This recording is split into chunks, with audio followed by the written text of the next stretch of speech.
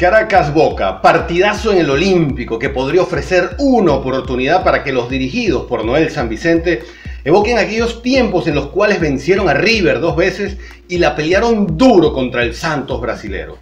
Boca no viaja con su plantilla completa, están luchando por el título de la Superliga. Entonces, en realidad Caracas tiene chance, está en la capacidad de ganarle a Boca en el Olímpico. ¿Puede el Caracas Fútbol Club cambiarle un poco el rostro al fútbol venezolano tras la debacle del resto de equipos que se han presentado en torneos internacionales últimamente?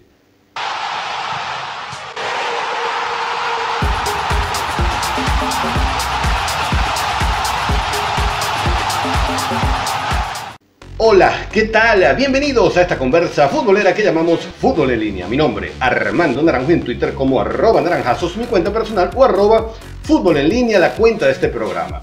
En esta edición, a manera de una breve previa, vamos a conversar sobre el relevante partido que se jugará entre Caracas Fútbol Club y Boca Juniors en la primera fecha de la fase de grupo de Copa Libertadores. Una plantilla que tiene un valor de unos 7.5 millones de dólares contra una plantilla de más de 120 millones de dólares.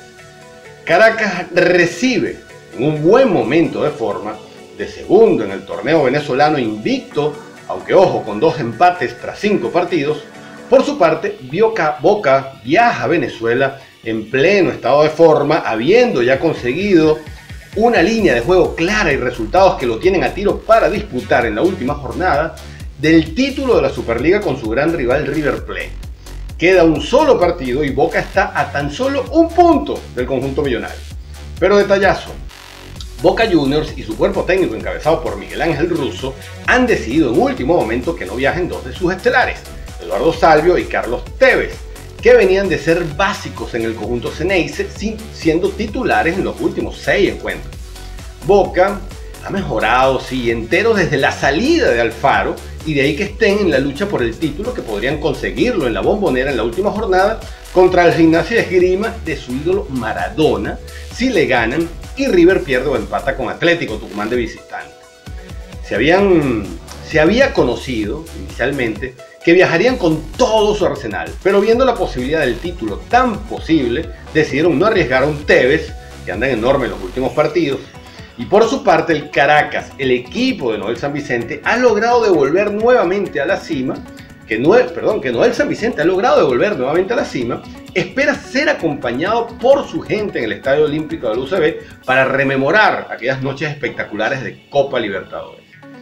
El Rojo marcha segundo, a dos puntos de la punta con tres ganados y dos empates, siendo el máximo goleador del torneo hasta ahora con 11 tantos y solo dos en contra, para un más 9 que también es el mejor registro tras 5 jornadas en la liga. Entonces, ambos equipos llegan en situaciones similares pero a la vez distintas, porque Boca está en su momento cumbre de forma para obtener el título y así le agarra el arranque de Copa Libertadores. En cambio, Caracas Fútbol Club empieza a tomar su forma óptica al haber alcanzado la quinta jornada del torneo, que por el resbalón en la última jornada ante Puerto Cabello perdió la punta ante el Deportivo Lara. Esta pérdida de la punta preocupa un poco porque se da después de dos empates consecutivos en los cuales tan solo han marcado un solo gol en los partidos, ante un casi colista y otro que arrancó cojeando como Trujillano que marcha por allá con el puesto 2. Ojo, que en esto también se refleja la profundidad del Banco de San Vicente, porque debió administrar recursos para su estreno Libertador. Dos realidades distintas, pero que a la vez pueden ser explotadas o sufridas de distinta manera por cada uno de los equipos. Me explico. El Caracas Fútbol Club como local está mentalizándose desde hace semanas para este partido. Quieren ganarlo y van a buscarlo. Noel Vicente, no, Noel San Vicente quiere dar un duro golpe a la mesa en este primer partido ante un grandísimo rival. Es una revancha, no solo para él como técnico, sino también para la institución que representa. Y es así como el club se ha concentrado en una campaña que intenta sumar y concentrar todos los esfuerzos, sumando también a la gente, medios, redes de tal manera de apostar a la unión de todos los involucrados que permita generar un ambiente propicio que motive una presión adicional y que posibilite hacerle daño al favorito Boca Juniors. Ojo, y tampoco es momento de vender humo y pensar que el Caracas sale de favorito porque sea local. Nada más lejos de eso. El compromiso es muy difícil, lo sabe ¿no? el San Vicente, que ha dejado claro que desea que el grupo esté tranquilo, que llegue lo mejor posible y de ahí que en los últimos partidos balancear las cargas para poder llegar con los jugadores de Copa en plena forma. Chita, además en sus declaraciones, deja claras sus intenciones y objetivos de cara a este partido. En sus declaraciones dejó claro casi eh, textualmente lo que les voy a citar. Va a ser complicado, va a ser difícil, pero buscaremos los tres puntos, jugamos en casa.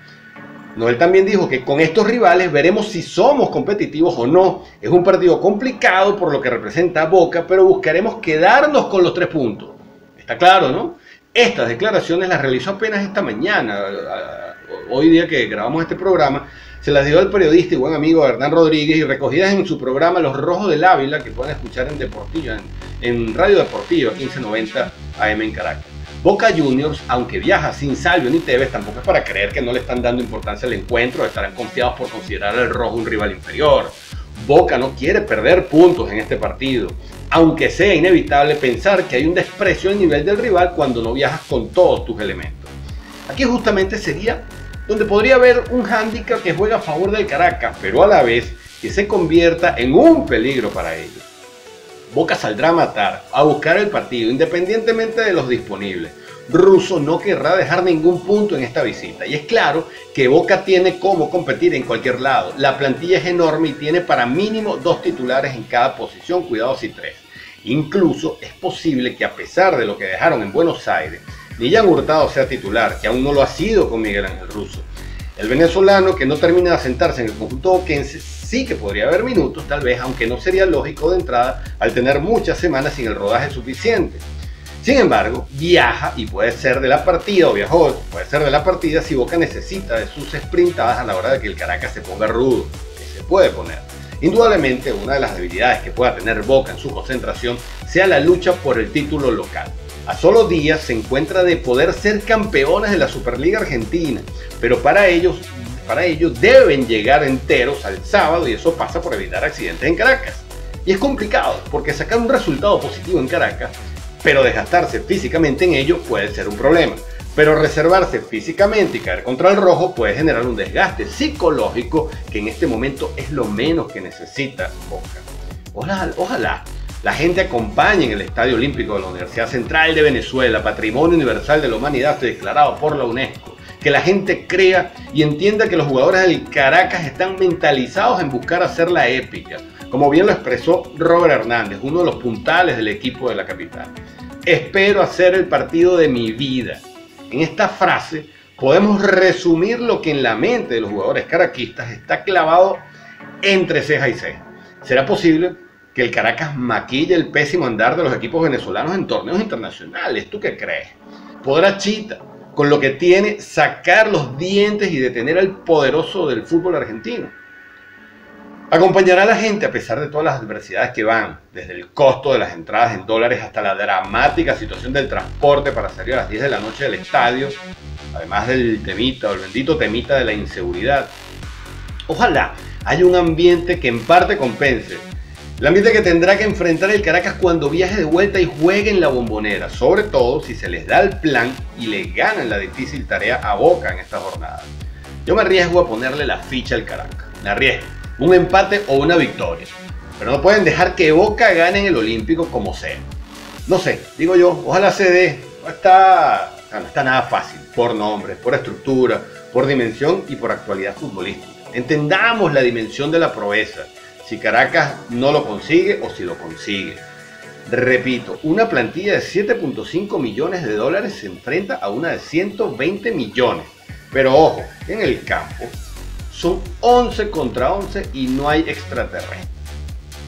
Y bien, hasta aquí esta edición, esta conversa que llamamos Fútbol en línea. La invitación a unirse a esta comunidad que seguimos conformando gracias a ustedes, a conectarse, suscribirse, comentar eh, y seguirnos a través de las redes sociales.